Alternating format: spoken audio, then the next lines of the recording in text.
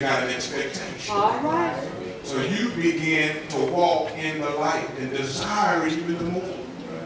And God begins to give it. Yes. And you hoping to the end. And while you're hoping, grace, talking about God's strength, is being brought unto you at the revelation of Jesus Christ. Not when he split the scalp in the rapture, but through his word you begin to see him more and more as you sow to the Spirit.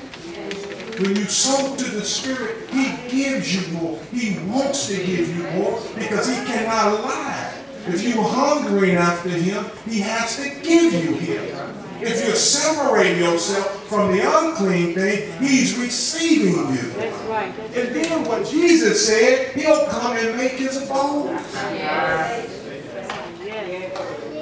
He'll make his abode with you.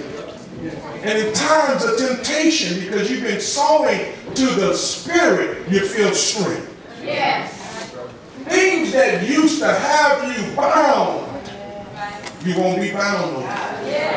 Things that used to move you and have you upset, because you've been sowing to the Spirit, you find that there's some peace there. Yes.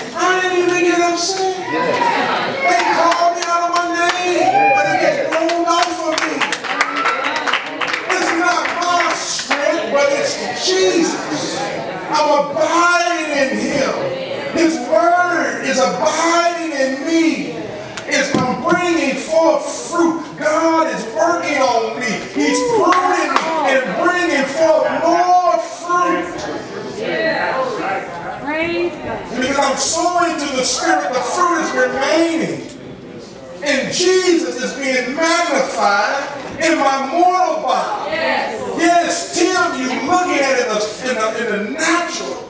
But on the inside that's coming out Jesus. It's the Word of God that's emanating from my life. It's in my speech. It's in my behavior. It's in my desires. It's in my clothes. It's in what I put on. How I do my hair. How I cut my hair. How I treat those that do me wrong.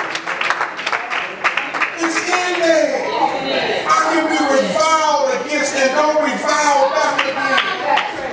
Because I've been sowing to the Spirit. God is not going to be mocked. Whatsoever a man sow, that shall he also reap. If I seek after God, if I desire God, if I set my